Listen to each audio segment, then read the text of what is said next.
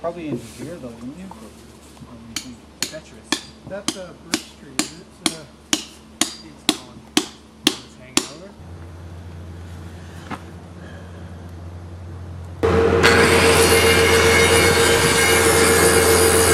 Well, the trails are nice. Um, it's easy to get to. Um, you know, there's dirt jumps.